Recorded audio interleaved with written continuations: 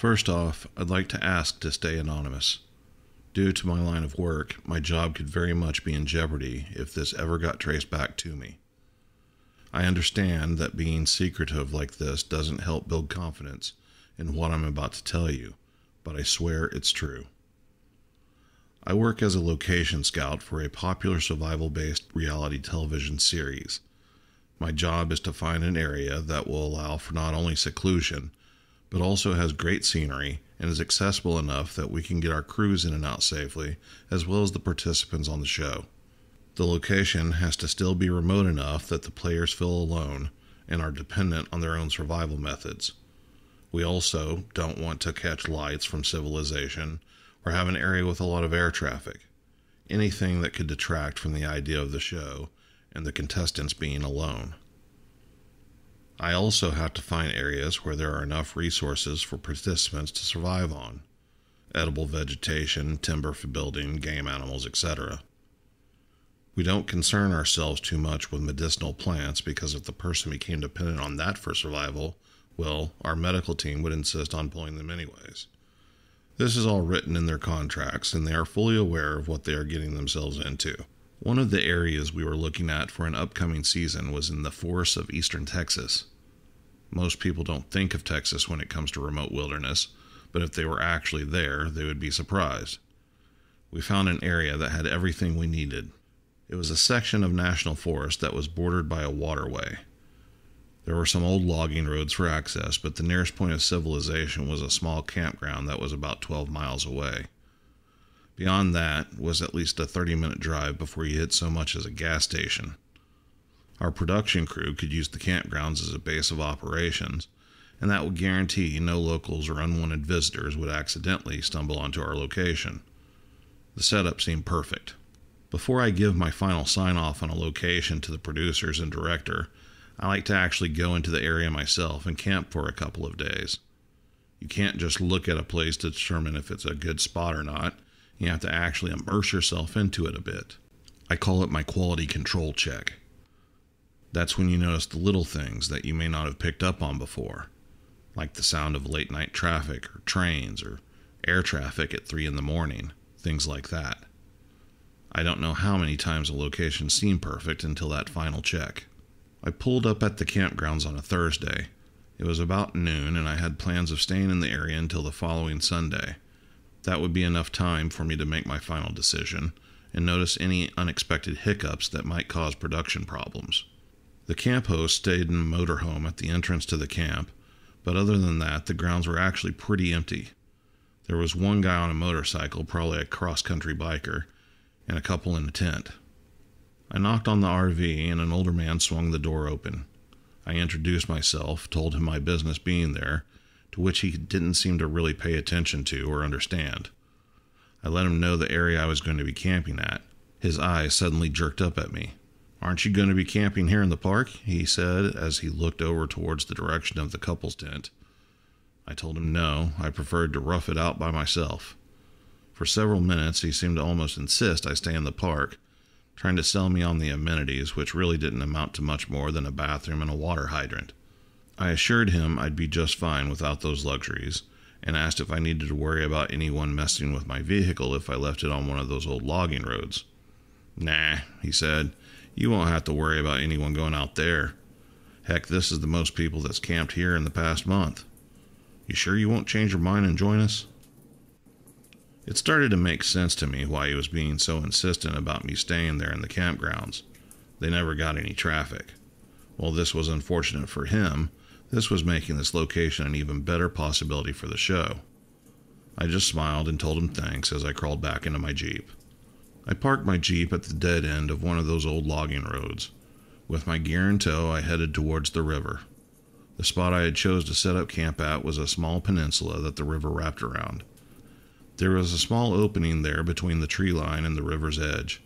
It was about a 30 minute hike through the forest from where I parked my vehicle, but when I walked out into the clearing, I couldn't have been more pleased. The spot looked like it was taken straight out of a painting perfect for a campsite and perfect for production value. The opposite bank of the river was a high rock bluff that seemed to create a chamber around the area. You really felt completely alone, and I was. The first night I had a difficult time falling asleep. I had to adjust to the sounds of the area, which were mostly drowned out by the sound of the water. A small thunderstorm passed through early on in the night, but after it had moved on, I fell asleep. The next morning, I woke up and went to answer the call of nature. I was at the edge of the water with my back towards my camp doing my business when a loud snap rang out from somewhere behind me. It sounded like a shotgun blast. I craned necked around to try and see what was going on, but couldn't see anything. I quickly finished relieving myself and went towards the direction I had heard the limb snap. There wasn't any wind or anything, and the snap happened very quickly, like how a person would do it. About 30 yards behind my camp, I found a freshly broken limb. The limb was about four inches thick, and at the break, a piece about four feet long now dangled. I pulled the piece the rest of the way off. To my surprise, when I tried to break it, I couldn't. I didn't hear anyone, and I didn't see any tracks from bears or anything, but that was my guess. It was probably a bear. The rest of the day I spent hiking around the area, taking video and photos to show the head honchos, documenting the local wildlife sign and edible plants I found in the area. I never found the bear that snapped the limb, but I did find a couple more limbs similar to that one, and a small tree that had been twisted and broken near the top. Probably a bear trying to climb it or pull it down to get at some leaves but I made note of it for the show. We make notes of any possible sign of predators in the area so we can be prepared in the event of an emergency. The next night, I woke up suddenly from a deep sleep. I wasn't sure what had woken me up, so I just laid there listening for a moment. Everything seemed quiet. I could hear the water, but the sounds that usually lay behind it weren't there. Had that bear wandered into my camp? The only bears in the area would have been small black bears, but any bear can be dangerous, and I had found those snapped limbs in the twisted tree. That's when the loudest and strangest sound rang out through the air. It was like a long, drawn out whoop, like an owl might make, but way louder and much, much longer. Where did it come from? I grabbed my light and slid on my boots as I exited my tent. I was walking around my tent, scanning the tree line with the flashlight when I hear this whoosh in the river. I wheeled around, panning the light along the surface of the water, and could still see the ripple spreading out. Then, just at the edge of the light beam, I catch a huge rock about the size of my head hit the water. It had come from the top of the rock bluff. I shined my light up towards the top and where I guesstimated the rock had come from, but couldn't see anything. I shined the light around a little more and then turned it off. No sooner had the beam gone out than something at the top of the cliff let out a roar like I had never heard before. If you could imagine the sound of a man screaming and the roar of a lion, or maybe what King Kong would sound like in person, that's what this thing sounded like. I could feel it in my chest. In all my life, all the remote places I have scouted and camped, I have never felt that afraid. What the hell made that sound? What the hell in Texas could make a call like that? I had heard cougars, bears, lions, elephants, just about anything you could think of in my line of work, but never had anything rattled me so much as whatever that was had. I stoked up the fire and threw a couple of logs onto it to get it good and blazing. The fear I had as a child of the dark had suddenly returned, and I felt safety in the light. I looked at my phone. It was three in the morning. It wouldn't be that long until daylight, I started thinking about what I should do. Should I forget about this place? How could I sign off on a location when there was something out there that I couldn't identify as a threat or not? Then I started thinking had it thrown that rock into the river? Were those limb breaks caused by whatever had made those calls? Impulsively, I wanted to just get out of there, but did I really want to hike back to the Jeep in the dark? I decided to wait things out until morning but there was no way I was going to fall back asleep. About an hour had passed before I heard the first sound of sticks popping as something moved through the woods behind me. The hairs on the back of my neck stood on end, but I reminded myself that I was just spooked and it could be anything. Every five to ten minutes or so, I'd hear some more movement.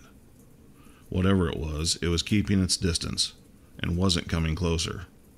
Even though I thought it could be nothing more than a deer, I was still relieved by it not getting any closer. That relief came too soon. There hadn't been any movement for about 20 minutes. I remember checking the time on my phone again and seeing that it was still about an hour before first light. That's when I heard sticks popping again, under the weight of something stepping on them. Only this time it was close. Maybe 30 feet or so behind my tent, just inside the trees. I mustered up some courage and stood up. I faced the woods with my back to the fire. The flames were just bright enough to reach the trees, but not strong enough to penetrate the shadows between them. There, between two trees that formed sort of a V shape, were two eyes. They glowed the same color as the fire. Something was standing behind those trees watching me. At first, my mind didn't really process what I was seeing. I went through the mental database of animals it could be deer, raccoons, even that black bear that had started fading from my thoughts. That's when I realized that these eyes were different. They were forward facing like ours, but they had to be huge. They were big and they were high off the ground. If I had to guess, I would say at least eight feet up off the ground. What was I looking at, or more importantly, what was looking at me? I watched as the eyes blinked and then were gone. I stood there for a minute waiting to see them again, but whatever it was had left, and it didn't make a sound when it did. At this point, a wave of terror ran over me, and I wanted nothing more than to leave.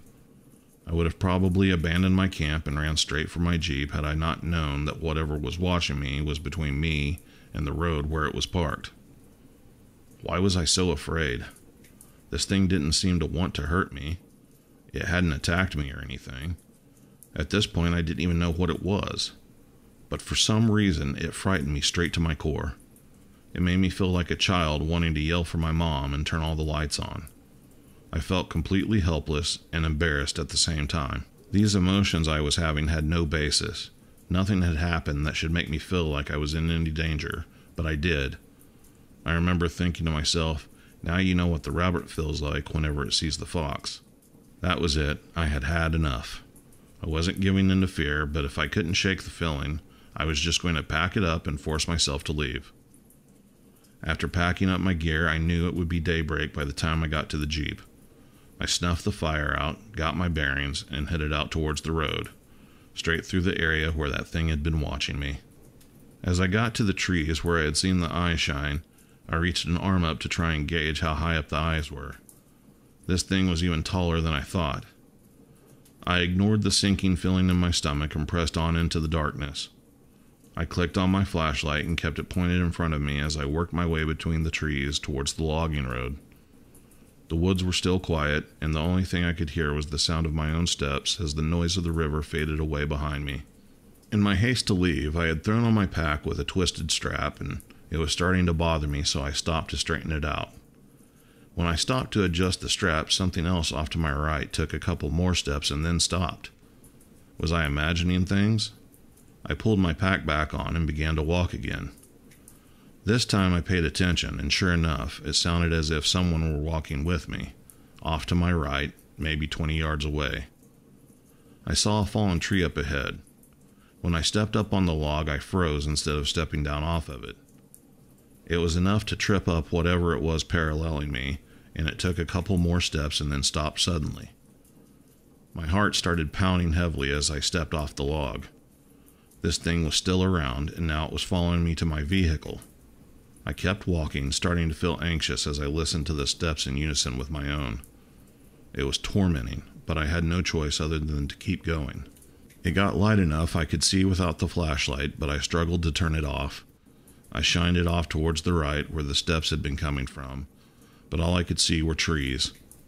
As I kept walking, I realized I was no longer able to hear the thing. Had it given up? Now that it was becoming daylight, had it lost its courage? I didn't care. I just wanted to get out of there. As I got closer to the logging road, I started hitting the button on my key fob until I heard my alarm chirp. I could see the parking lights blink twice through the tree cover. I was so relieved to be back at the car. The show would just have to find a new area. There was no way I was going to recommend this place. I got to the Jeep and threw my pack in the back. When I closed the back hatch, I noticed what looked like imprints of long fingers in the dust on my back window. I held up my hand, and these were much larger than mine. I climbed into the vehicle and hit the door locks. I turned the key halfway, expecting the car not to start, but the engine fired right up, thankfully. I wasn't stuck in a horror movie after all. I placed my foot on the brake and engaged the gear. Whether it be instinctively or just muscle memory from driving, before I took off, I looked in my rearview mirror. There, at the tree line behind me, illuminated by my brake lights, was a monster. My mind tried to process what I was seeing, but I already knew. It was huge and muscular, covered in hair. The eyes glowed in the taillights just like I had seen in the firelight back at camp. I was staring at a Bigfoot. No sooner had I realized or accepted what I was looking at, I turned away and walked back off into the woods. I took my foot off the brake and hit the gas. I kept looking back in my mirror, expecting to see it again, but I didn't. I can't explain what I consider the irrational fear or why I felt like I was in danger, but no one will ever be able to convince me I wasn't. Two weeks later, I was scouting an entirely different location and never had the slightest feeling of fear, other than when the image of the creature would creep into my head. And no, I didn't sign off on the location in Texas. I told them there were too many black bears in the area and too much traffic from the locals. I didn't have much time looking at the Bigfoot, and I certainly wasn't thinking about making mental notes of the details, but what I can tell you is that it was tall, probably 8 to 9 feet. Hair covered the entire body except for around the eyes. The eyes were big and reflected back light like an animal. The head was slightly pointed like a gorilla's. I just remember how massive it looked with really broad shoulders, and you could see the muscle definition under the hair. I hope that helps, and maybe something from my own encounter can help you guys find it. But I have to admit, I think you're crazy for looking for it.